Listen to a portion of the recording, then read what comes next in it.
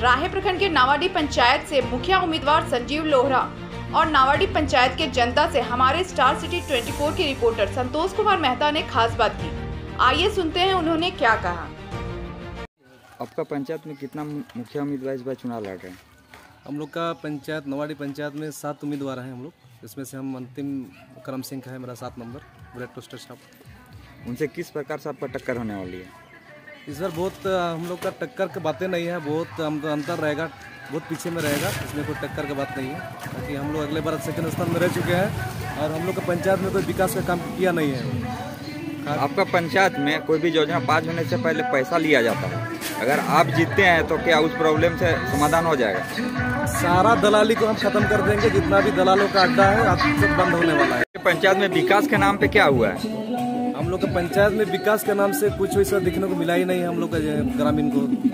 और जहाँ तक रहा कि आवास की बात तो छोड़िए आवास हम लोग का पंचायत में केवल 122 को खाली दिख रहा है और दूसरा पंचायत में लगभग 700 800 900 करके काम हुआ है।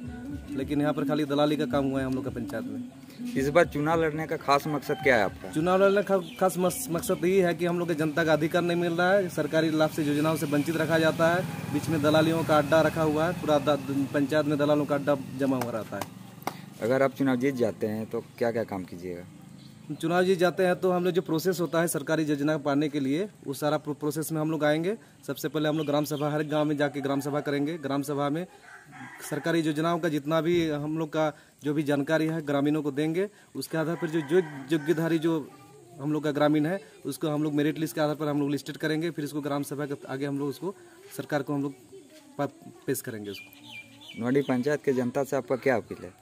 नवाडी पंचायत से हम लोग बहुत इस बार भरोसा किए हुए हैं ताकि अगले बार दो मतलब बारह साल से लगभग लगभग जनता त्राही त्र- त्राहिमाम की ये जेल चुक रहे हैं त्राही त्राही कर रहे हैं ताकि इसमें किसी भी तरह का योजना का लाभ नहीं मिला है। हर एक तरह से ठकने और छलने का काम किया गया है हर एक उम्मीदवार से। नाम हुआ आपका? मेरा नाम मोहित भूषण महतो है। मैं मेरा गाँव भी नवाडी है भी नवाडी है। नोडी पंचायत में कितना विकास हुआ है?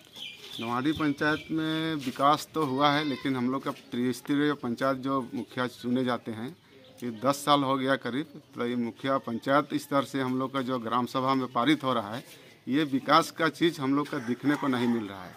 और हम लोग का ग्रामीण का भी यही साथ मैंने दे रहा है कि ग्रामीण का कहना है कि हम लोग को जो पंचायत स्तर से जो काम आता है, इसमें हम लोग का जानकारी नहीं होता है। ग्राम सभा किया जाता है तो चुपके से ग्राम सभा किया जाता है। ग्राम सभा में जो पारित भी करते हैं हम लोग ग्राम में, एक बार नहीं, बहुत बार हम लोग ग्राम सभा में महिला भी बैठक बैठ- बैठक करती है।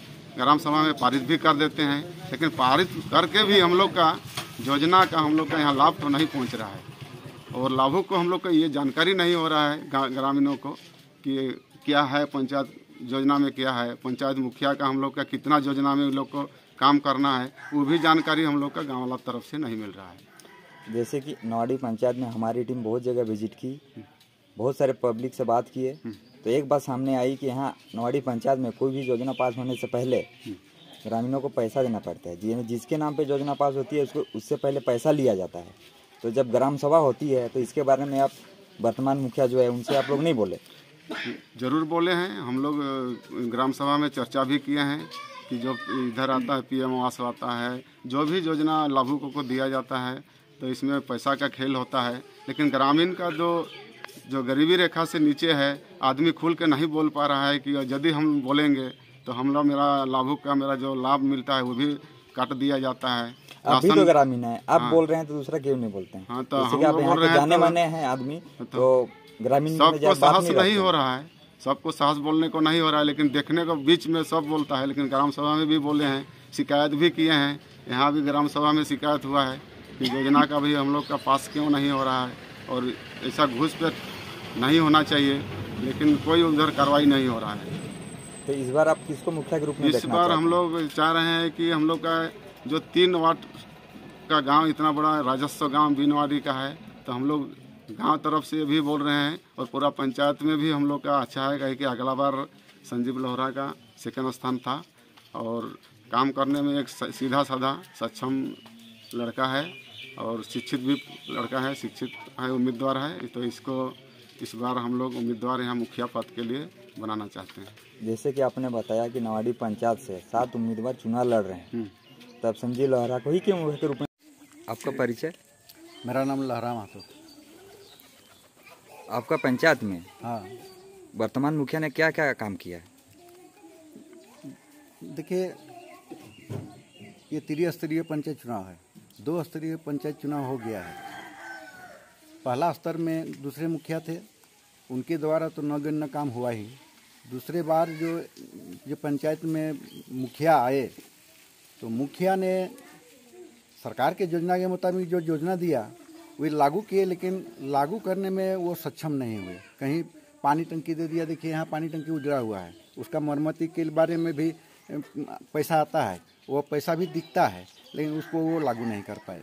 कोई भी योजना में किए भी हैं तो वो बिचौलिया ढंग से काम किए हैं, सही ढंग से काम नहीं किए हैं, जो कि वे सुविधा के अनुसार ग्राम सभा करके, ग्राम की अनुमति के अनुसार, ग्राम के सहयोग से करना चाहिए, वो नहीं किए। चुपके चुपके से अपना योजना वो डाले हैं वो डाले हैं, कहने का मतलब है, सरकार की योजना को मनमानी ढंग से डाले हैं आम सहमति से नहीं डाले हैं इसलिए हम लोग उससे ये पंचायती राज व्यवस्था का जो नियम है उस नियम के साथ वे काम नहीं किए वो नियम के साथ काम करना चाहिए इसलिए वे फेलियर हो गए हैं।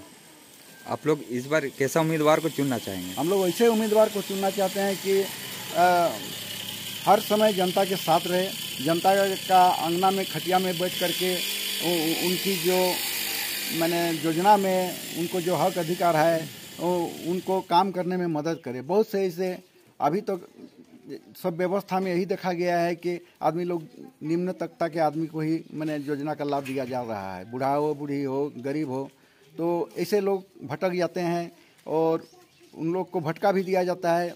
योजना का योजना योजना का लाभ और नाम भी उनको मालूम नहीं है। कोई अपने अगर हो गया तो उसको अपने स्तर से करता है, जबकि ये सब सहृदयता से मुखिया को करना चाहिए। गली गली में जा करके उनको बता बताना भी चाहिए। समय समय पर ग्राम सभा करके, आम मीटिंग करके, आम सभा करके इन लोग को बताना भी चाहिए। और गाँव के आदमी को सहयोग भी लेना चाहिए और अपने तो भरपूर उनको सहयोग देना चाहिए। तो ऐसा काम तो अभी तक दो स्तरीय मुखिया इन लोग नहीं कर पाए। और ये अभी जो उम्मीदवार खड़े हैं, संजय लहरा ये पहले से ही ये अपना रूपरेखा मैंने प्रदर्शित कर चुके हैं। हमको उम्मीद लगता है। ये जो उम्मीदवार खड़े हुए हैं, इनको तो मत मिलेगा ही और जीतने के बाद में हो सकता है सरकार